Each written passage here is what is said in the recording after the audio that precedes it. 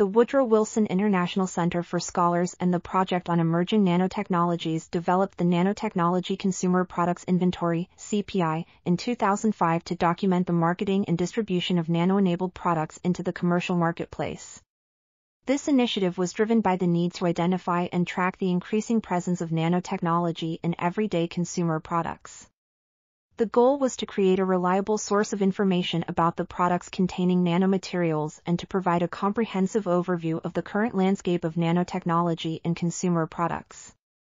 The original inventory was updated in 2013 with the addition of eight new descriptors for consumer products, including information pertaining to the nanomaterials contained in each product.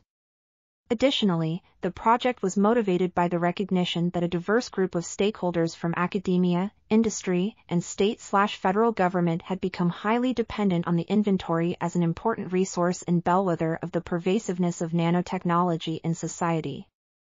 Interviews were conducted with 68 nanotechnology experts to assess key information needs.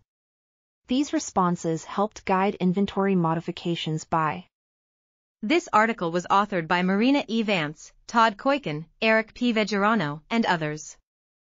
We are RTCL.TV, links in the description below.